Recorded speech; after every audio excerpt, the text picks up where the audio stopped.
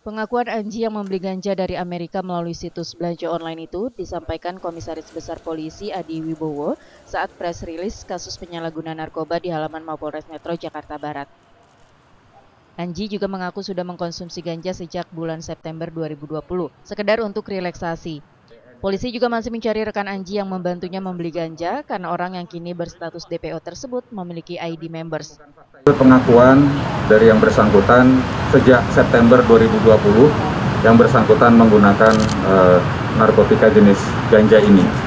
Di mana menurut yang bersangkutan itu dia gunakan untuk bisa rileks.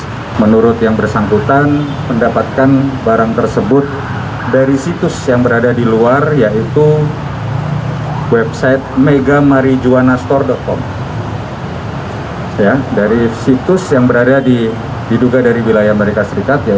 Sementara itu Anji juga meminta maaf kepada semua pihak dan meminta doa agar kasusnya segera cepat selesai dan dapat kembali berkarya dan melakukan aktivitas seperti biasa. Dirinya juga siap menjalani hukuman atas perbuatan yang dilakukannya. Uh, selamat sore,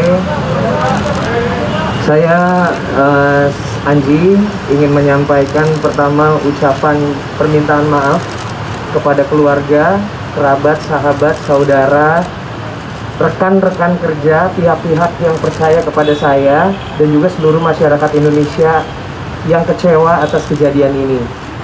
Saya berharap semoga kejadian ini bisa menjadi pelajaran untuk diri saya sendiri dan juga seluruh masyarakat Indonesia untuk tidak melanggar aturan apa pun dengan alasan apa pun.